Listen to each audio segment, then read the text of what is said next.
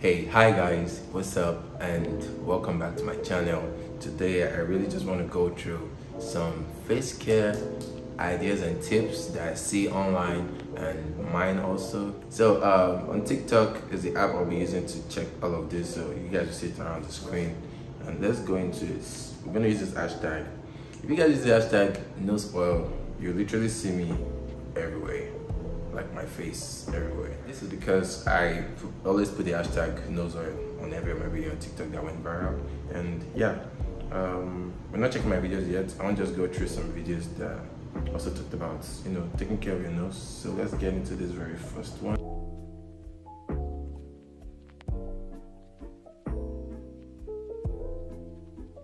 Okay, this person is literally um, removing oil from the edge side of the nose because that's the only part this person can access. Alright, let's see another video real quick. Got the perfect product for you. This is the Oil Control Clearing Face Mask by Sand & Sky. This one to do is apply a thin layer and wait 10 minutes and bam! Just look at all that oil that it's pulled out, especially around my nose area. You can really see how much it's worked its magic. Okay, she actually applied um, some, you know, product on the face that dries up and it also probably dries up the oil on your nose and every other place and you wash it off obviously. So um, that's not really enough because I believe this clogged oils are always inside the skin. So um, this product might just get rid of what's on the surface of the skin or tighten your skin pores which sometimes you don't really need to tighten your skin pores because you're not trying to end it. You're trying to control it. Control is different from ending. Some things shouldn't end. Some things only should be controlled all your nose literally should be controlled and not to be put to stop. There's some other video of some guy um, literally using a product and a kind of face brush on his nose. Wash and the nose with gum. Let's see how that goes. Use the large bristles on the face brush, then deeply cleanse and exfoliate the nose. He's literally, he's literally scrubbing that nose. He's literally brushing out on that nose. To me, this is uh, way more stressful than nose, literally. And people saying, no, pressing your nose could hurt you, could break your nose. Those are people in the category of abusing the act. If you're too aggressive on yourself, that's you. Those that are gentle know how to do this. We don't even feel pain.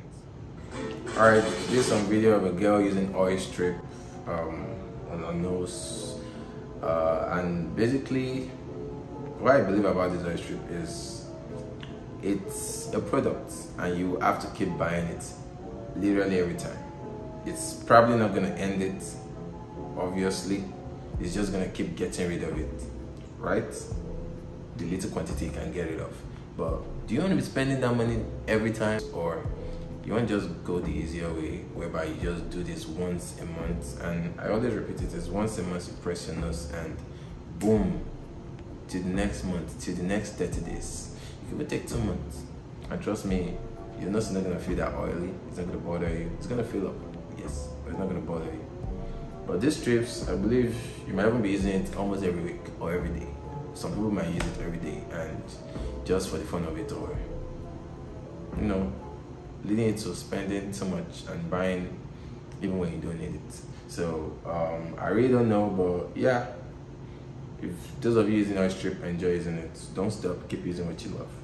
So what's happening here? So when you squeeze your nose like this and the thin white strings come out, these are called sebaceous filaments and these are made up of dead skin cells and sebum, which is the oil that your skin produces. We don't recommend doing this. It can damage the skin tissue. It can even lead to infection. If you're struggling with blocked pores, instead what we recommend is washing your face twice a day gently. Something about people like this woman, they comes online on TikTok and just say, okay, what you're seeing right here, especially when they use my video as a reference and they be like, oh, don't do this, you could affect yourself. They are right. You can affect yourself if you abuse it. They don't only say that aspect. They just want to be like, oh, don't do this. Because when you go to them, especially your dermatologist, this is what they're gonna do if your case is like this. So they prefer to do it and collect your money. Is that not crazy? So they tell you don't do it, don't figure it out, don't learn how to do it, it's bad for you. It's only if you abuse that act, then you can say that's bad. Yes, if you abuse something, you're gonna see bad side effects, obviously. But if you did it the right way, you do it once in a while, not too much. You don't do too much of what you're meant to do or what you want to do, right? There's nothing like it's bad for you. If you don't press your nose to add, boom, you're good. No arc on your nose, no scar on your nose. And if you wipe your nose clean, wash your face because I do this, I wash my face clean right after. And trust me, I'm good. Good. So what she's saying right here is just another scaredy cat, scared of taking care of themselves by themselves. Alright. I really enjoyed this video because this guy is nose brought out all the cheddar cheese you can ever think of, literally. And it's so amazing and satisfying to watch anyway. I think you guys will like it. Opciones como combinar casa y auto para una tarifa que se ajuste a tu presupuesto familiar. Yeah, this video is a typical example of someone that is so aggressive on their nose. You are this person, you don't even know what you're doing. Don't even do it again. Don't do this again. Don't don't try. Go go figure it out first. Go even find out if you need it. That's what I'll say. Go find out if you need it. Then you can decide if you want to do it, when you want to do it, how you should do it, if you should ever do it. Because you break your nose. That's what I'm trying to get to. You break your you you watch yourself. You probably see blood pop out. Because why were you why were you this aggressive? I really don't know this device um, that um, literally sucks out the your nose. Like it's crazy. I really don't want to do this because I feel like it might do more than just getting what is in my pores out. It might even just make me have a blood clot somewhere or something. Some I'm just I'm just concerned. I've never tried it anyway. I've seen in comment section people saying I should try it, but I've, I really don't know if I want to. Oh my god, guys, this is how Ari woke up. Look at that. Ow!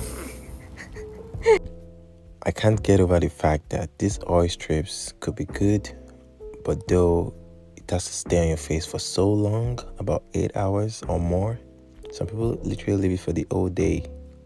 And that's crazy to think that you just want to do that to get oil off your face when you could press your nose. I'm not trying to preach this too much, but I'm showing you how easy.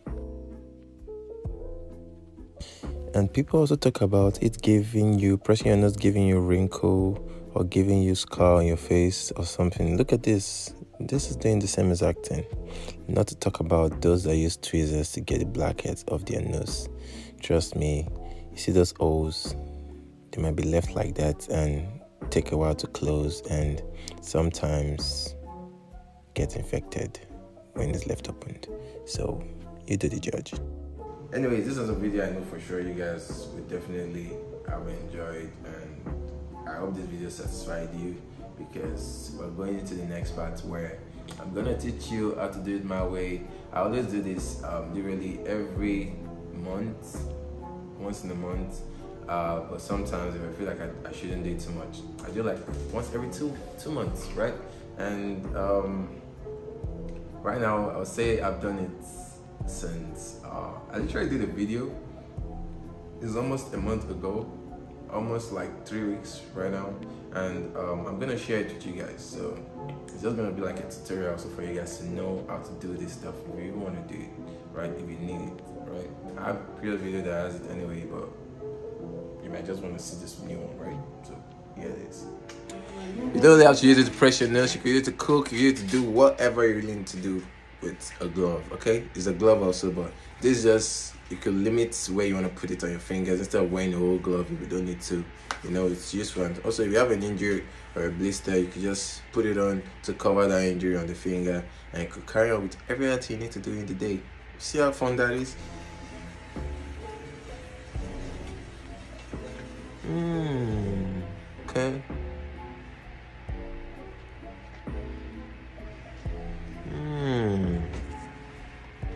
Soil of my nose. Wow. Okay, let's check the middle.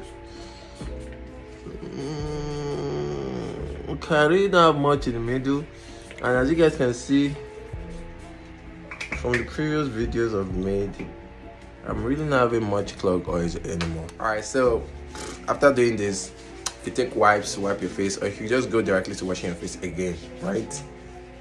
Nothing less, nothing more.